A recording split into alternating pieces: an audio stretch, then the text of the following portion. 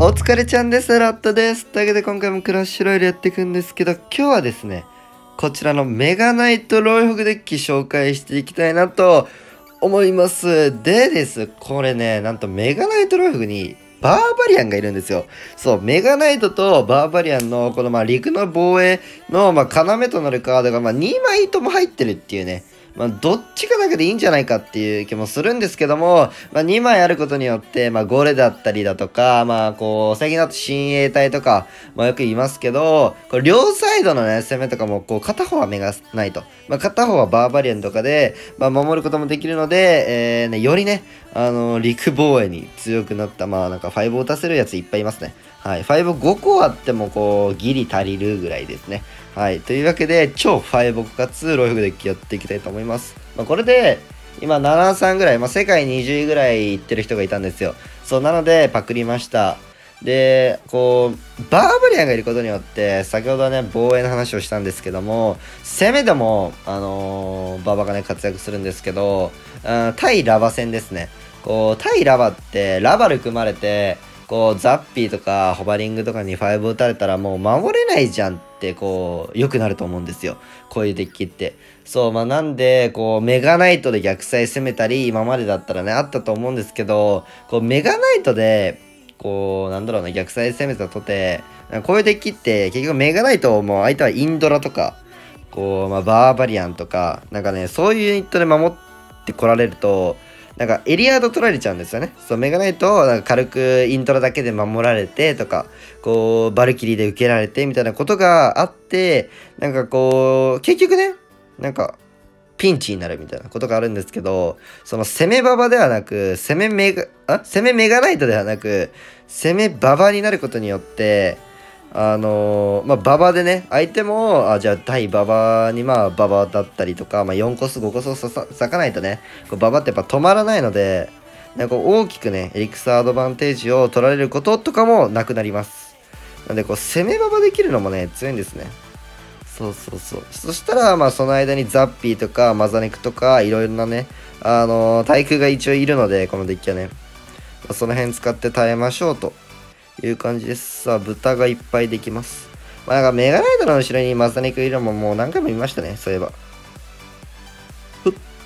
いや、うますぎ待って。う、豚いや、豚良すぎああ、ああ、ああ、バカ。今めっちゃいい。今ね、めっちゃいいタルババしたと思ったんですけど、まあこれは多分ファイボがね、あります。今回の相手は、ファイボファイスピのロイジェかなそうそうそうそう。まあ、でもここでファイボ使ったら、僕のね、またババザッピ、ホバ、マサネク、5、5枚ね、ファイボ打たせる場所があるので、よしよしよし。まあなんかメガナイトマザネク組んでとか、まあメガナイトホバ組んで、えー、そこにファイボ打ったら、相手はね、僕のババがいるので突破できないよという地獄ファイボデッキです。えー、これ相手、今ファイボ使ったんで、これ逆サイロイ来てもババで守れるっていうケツメガナイティちゃんですね。さあ、まあこれ後ろね、マザネク、ザッピー何をつけるのが一番正解かって言われるとちょっとわかんないんですけど、まあなんとなくホバでいきましょうか。さあ。いやー、このなんか釣りもなんか地味に嫌ですよね。まだマザネクがほどほどにね、頑張ってくれ。さあ、一発ぐらい受けましょう。まあ、僕は、こうなんか無理に攻める必要ないんでね。こう後ろからユニット割いて割いて、みたいな。で、ここは飛ばしてあげて、あの、ちょっとあれっすよね。ファイボーそうそう、ファイボー使わせてあげてね。これさては、この、やりゴブ系ってさ、一生マザネクで受けれるみたいなことないかな？いや、めっちゃいるなちょっと邪魔なんだら撃っちゃおう。やりゴブが、バカいる、バカいる。さあ。で、まあ、この、馬場とはね、違う位置にユニット出してあげると、まあ、言ってもきつい。いや、こんなね、過剰すぎるぐらい守ってるんですけど、いいね。え？待って待って待って。ユニットがバカ残ってると思ったら、全然いいね。さあ、まあ、今5を使ったからっていうね、また無限サイクルができます。まあ、さすがにここはロイ来ないだろっていう、ちょっと祈りのね、祈りのケツメが。で、まあ、マザネク出してかな。1100削り切るのが、まあ、若干、雰囲気大変な気もしないこともない。いや、あれはちょっとやめとくか。一回ザッピー流して、みたいな。気持ちね、守りの構えをします。で、相手、う？さあ、それはさ、相手やってんすよ。多分、ロイホグは、ファイスピあれば守れる読みだと思うんですけど。よいしょ。いやー、これでも、やばいか。ファイスピ？あ、そっちか。そっちにタレババ転がせればよかったな。あ、でも、これは？さては？止まんねえぞ。ファイボか？オッケーまあね、あの、足りないっす。はい。あの、ファイブ今度5つ積んで出直しておいでというわけで、結構、結構ね、これきついと思うんですよ、今の。ファイスピーで、そう、ゴブゴヤもあって、相手もファイブもあって、で、後ろのね、あの、エレキとかもいて、っていうので、意外と、ちょっとね、あれって思ったんですけど、そうそうそう。まあでもやっぱこう、ファイブを打たせるのが多いので、なんだろうな、マザネクとホバリングが一緒にファイヤーボールで処理されたりとか、あの、まあ、ザッピーとマジア、えー、マジアチじゃないですね。マザネクがヤナアメザップで両方処理されたりとか、こうお得なね、処理をされなかったら、基本的には勝てると思いますね。そう、絶対どれかはいけるので、こんだけいれば。まあ、超高回転の5デッキとかだったら、もうわかんないですけど、まさすがにね、そうそうそう、まあ、高回転にはマザネクがね、あの、コウモリとかで意外と生きてくるんで、よいしょ。いてーこれ一発入っちゃうんだな。まあまあまあまあ、そんなわけで、今回言ったホグ LSP、すっげえ。まあ、とりあえず、うえい。いや、なんかこれ、ロケ砲とかいそうだけどな。まあなんかね、これが強いんですよ。そう。ケツババ？ケツババで様子見れるのが強いですね。相手、これだってババいたら、一旦両方攻めれないじゃないですか。さあ、ま、あー、なるほどね。クエイコーグのマジアチャ？いや、コウモリ来ないかな？いや、コウモリ来ないかな？いやー、一回待ちましょうかね。オッケー。多分クエイクなんですよ。だから、あのー、無双しますよ。僕のマザーネクロが。あと2周目マジアチャとか、アイゴレとかがちょっと厄介かなぐらい。いや、これコウモリ来るなまあでもマジアチャ見るから一回待っていいや。オッケーオッケー。これもうメガナイトで、あのマジアチャね、ついででもらえます。まあミニペッカとかいるかなもしかしたら。まあ、ザッピーで共有しつつ、これね、相手はアイゴレミニペコウモリとか多分その辺の防衛方法だと思うんですね。さあ、いやー、マザネク、豚にして、あ、キング起動か。あ、ハンターなんだ。ミニペだと思ってたんですけど、ハンターっすね。さあ、いや、これは、まあ、アイゴレが、ここで溶かして豚に、いやー、まあまあまあ、マジアチャマジアチャの回転が速いんですね。さあ、まあ、マジアチャだけ気をつけましょう。僕はね。いやー、これ迷うなまあ、相手も迷ってる。てか、相手の方がメガナイトあるしと思って、ちょっと攻めれてないですよね。あー、痛い。いや、痛えこんなダメージよくねえな、マジ。さあ、まあ、ケツババで、まあ、踏んじゃえばいいですよね、これは。オッケーオッケーオッケー。まあ、自然とね、このケツババで両サイカウンター。メガナイトババ。で、マジアチャー速攻5落ちてえな、僕は。さ、もうマジアチャだけはね、絶対に生かしたらあかんす。あいつだけは。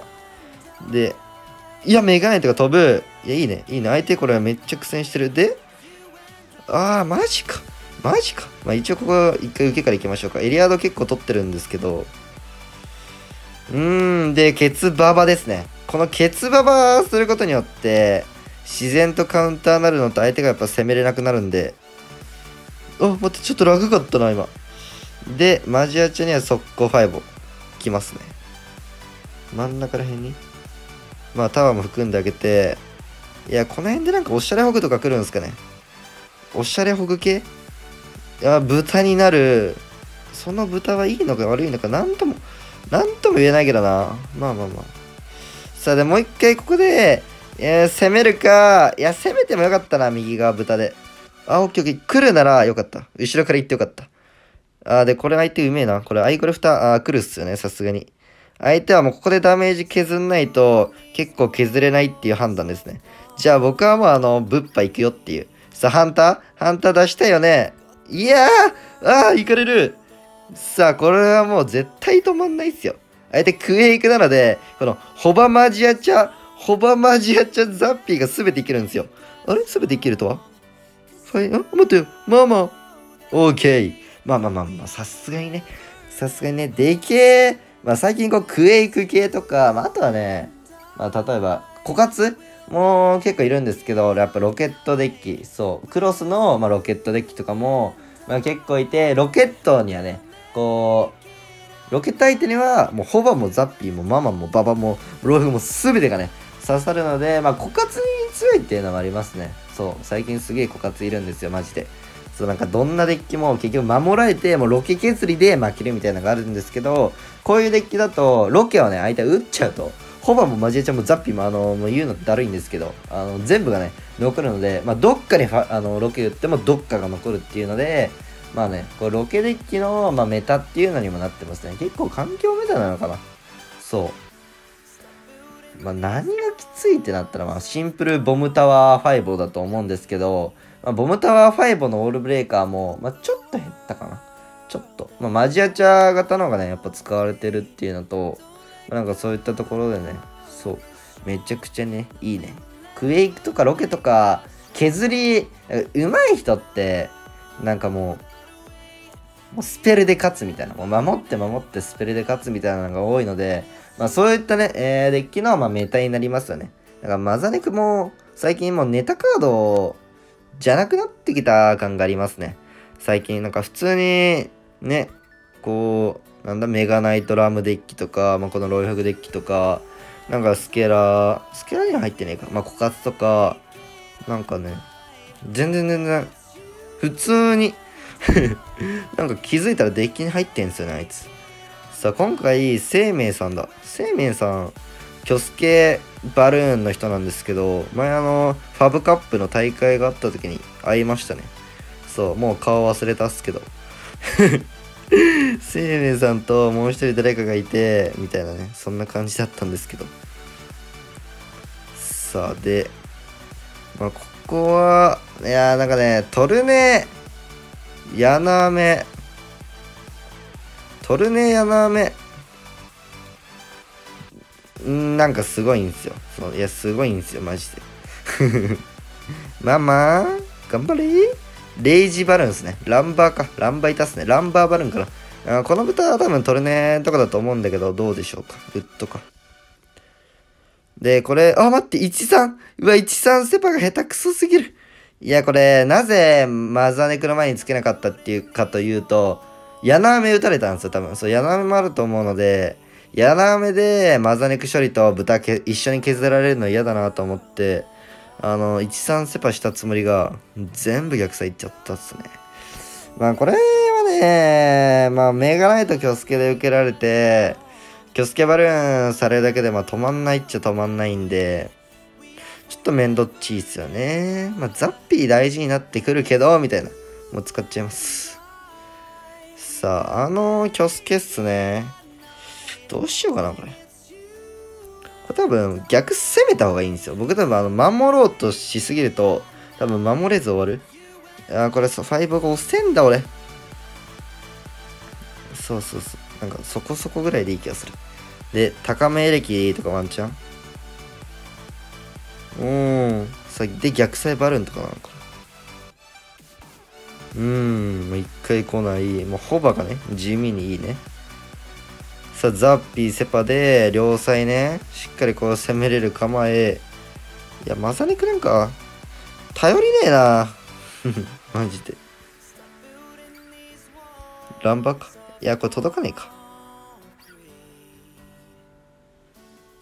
まあまあ。いや、ガゴムリきそう。お強すぎ待って待って。チーターか、今の。今のはヤンキーすぎる。で、マザネクこれ右サイドに出しつつの、いいね。いいね。あー、そこで気をつけか。いや、まあで、ここで巨大スケルトンを溶かせるのは、まあでかいっちゃでかいですね。うーん。最後のバルーンだけね、ちょっと気をつけて。いや、来ちゃったな、これ。いや、ザッピーいれば耐えれそうだけどな、ぶっちゃけ。あ、やばい。俺のホバが、ホバ待って。ホバ高すぎる。やばいやばい。いや、これ5打つか。お、あ入るいやー、これは終わったくさいっすね。あと、2600削るプランがないっすね。多分、柳雨取るねで終わんのかな？これどうなんだろう。柳雨のダメージ。さあ、まあ、そんなわけで、まあ、バルーン、キョスケ、キョスケバルーンはなんか厄介ですね。さあ、グッドゲームでございます。まあ、エレジャイとかね、最近結構流行ってます、エレジャイとか。もう弾けたら、どうやっても負けないんじゃないかっていうね。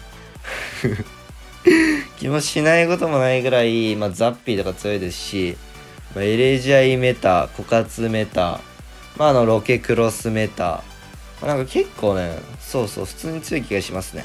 まあでも、まあ、ウィザードとかバルキリーとかネクロとかが多いトロタイだと、まあ、なかなか大変そう。全部こう、ウィザードとかにね、まあ、焼かれちゃう。なので、こう、ババとかを出すタイミングとか、なんならババ抜いた方がいいとかもあると思うんですけど、だからマルチ上位だと、ウィザードとかがね、あんまいないので、ババが普通に強いんですよね。そうそうそう。クエイクとかはロケも多いんでね。さあ、よろしく。ショッカー。いや、クロスかな。これロケだったらいいけど、ファイボダウンすよね、多分。そう、普通にファイボクロスだったら負ける。いや、ファイボじゃねえ。待って待って待って。ファイボじゃないんですけど、これよくねえな。タルババとか使ったらもうしょっぱなから狙ってきそうだもん。いやーで、ケツババもちょっと怖いので、高めからね。オッケーオッケーオッケー。さあ、遅延テスラクロス来た。これはね、神相性だと思うんだけどな。まあ、負けるパターンは、あのー一応あるんですよ。うーん、序盤に多分僕のメガナイト、まあ、このテスラとかトルネードとかで、とかメガナイトとかロイフとかキング起動してきて、みたいな。そうそうそう。まあ、キング起動ぐらいかな、やっぱ負ける可能性は。あとはね、基本的には大丈夫だと思うんだけど、耐えたいな。耐えたい。うまいやつね、もう、すげえ通し方してくるんですよ、クロスを。これ取るね。ああ、まあそうっすよね。さあ、怖え。だからまあ、メガナイトでもホバの形とか、メガナイト、まあなんかの形をちょっと作りたいっすよね、僕からしたら、正直。まあ、ロイフがいいかな。一応取るねかな？多分取るあ、ロケか。まあ、ロケで、もうダメージ入れたくないんですね、相手は。はいはいはい。まあ、ロケ使ったら、端前、ババマザネクとかで耐えれそうっちゃ耐えれそうっすね。なので僕はちょっとケツババとか今すると怖いので、一旦待つ。あ、テスラ使ったし、ここはさすがにいいかな。来んのかないや、怖えマジで怖いっすよね。さあ。まあ、バッカクロス上手い人っすね、この人。いや、アイウィズとかかな。ちょっとアイウィズ系割いてほしかったな。さあ、これ、まあ、逆サイ、もうホバとかで気合で耐える。うん。ホバと、タルと、よし。いいね。いや、耐えれそう。いや、耐えてる。オッケーオッケーオッケー。いや、なんだろあー、これ一回ケツですね。よしよし。まあまあまあ、ケツ目がちょっと怖いね。いやー、踏んで今の踏んでくれたら熱かったんだけどな。さあ、これはね、組んでいいな、絶対。さあ、相手組まれるだけマジできついと思うので。うわ、うわ、うまい、うまい。さすがに、やばい。狙ってんのかわかんないけどね。さあ、まあ、こういうのでね、うまいんすよ。で、最後にロケで負けるんですよね。いやー、まあまあまあまあ。まあ、物量か？俺は。俺はもう物量で行くしかねえのか。あれ、メガナイトさ、真ん中から飛べないのかな？さあ、マザネクとか出して、あ、また同じだ。あ、オッケーオッケー。いや、待って、さっきから同じことされてる。俺、バカだな。じゃ、本当になんか、外に釣るのがうまいですね。いや、これクロスとかワンチャン置かれる？怖えー。これ追加ロイフグの可能性もあったんでね、多分。はぁ待って、これで守られんだな。なんかあのテスラやだな。これ真ん中メガでさ、飛ばない？あいつ。飛んでくれそうじゃない？いや、飛ばねえのか。マジで。いやー、マジで、うますぎる。壊して、いや、で、あんまやりすぎるとクロスチャキってくるんですよね。いや、テスラ下方して？マジで。テスラ下方来いうん、うん、うん、うん、うん。よいしょ。いや、あるぞ。いや、全然ある、全然ある。いや、でもテスラないと突破できねえな、これもしかして。気づいた。気づいちゃった、気づいちゃった、わーい、わいとか。え？やばくないですか？これ守んの。